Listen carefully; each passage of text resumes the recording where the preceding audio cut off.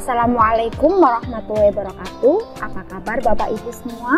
Semoga tetap sehat ya. Saya Aulia Rohma dari SMA Progresif Bumi Solawat Sidoarjo akan berbagi pengalaman mengikuti program guru belajar dari pendidikan keterampilan hidup atau PKH. Bapak Ibu, program ini sangat layak untuk diikuti karena berbagai manfaat yang saya dapatkan. Tujuan program Guru Belajar dan Berbagi seri pendidikan keterampilan hidup yang pertama adalah meningkatkan kompetensi guru terkait topik-topik pendidikan keterampilan hidup sehingga dapat mendukung peserta didik mengembangkan keterampilan abad ke-21 guna mencapai tujuan pendidikan nasional.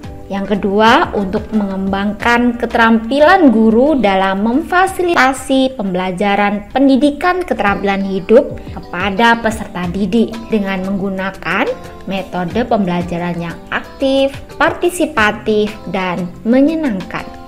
Program PKH terdapat tiga tahap. Tahap pertama orientasi dan e-learning di mana peserta adalah guru semua mata pelajaran dan hanya guru dari jenjang SMP dan SMA atau SMK.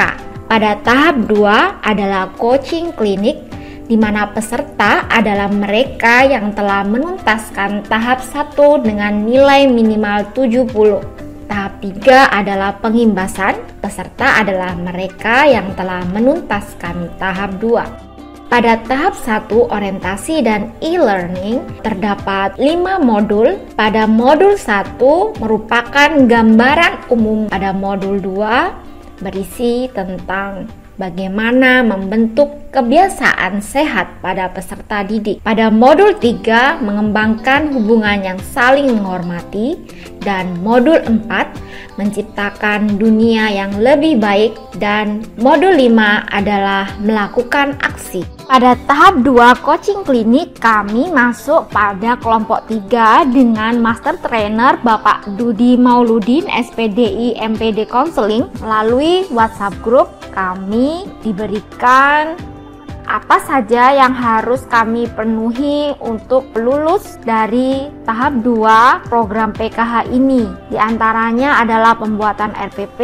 analisis SWOT, dan rencana aksi pengimbasan. Melalui Zoom atau Google Meet, kami juga dibimbing bagaimana mempersiapkan pengimbasan dengan baik. Para peserta yang mengikuti kelompok tiga ini berasal dari sekolah di berbagai penjuru Nusantara, baik dari tingkat SMA, SMK, maupun SMP. Untuk tahap 3 pengimbasan, saya sudah mensosialisasikan program ini kepada Kepala SMA Progresif Bumi Solawat Sidoarjo, tempat di mana saya bernaung.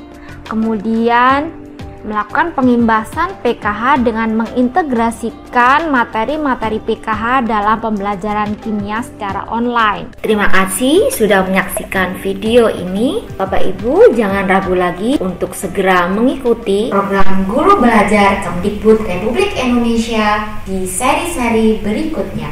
Assalamualaikum, salam guru belajar.